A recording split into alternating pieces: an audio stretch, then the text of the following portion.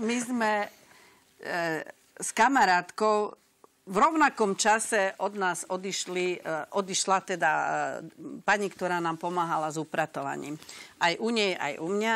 Tak sme si dali obidve inzerát, že ktorá prvá získa nejakú takú dobrú pani, ktorá bude spokojná aj s odmenou a tak ďalej. A vy ste si dali inzerát? A, no. Tak, kam chodíte upratovať? No veď to, že sa mi nechce, nechce, najmä tie veľké upratovanie, tak hľadáme. Skrátka, dali sme si inzerát, že a potom na poli si ju rozdelíme, tak sme to mali teda aj predtým. A poslala mi včera SMS-ku, asi to teda, ale hrozne sa mi páčila, tak vám ju prečítam. Od zajtra neupratujem bola u mňa Naka a kričali kuchyňa čistá, obývačka čistá, spálňa čistá. A, tak som rada, že som vás pobavila, lebo ja som sa strašne schutím na tomto. Takže je v, ko- je v kolúznej.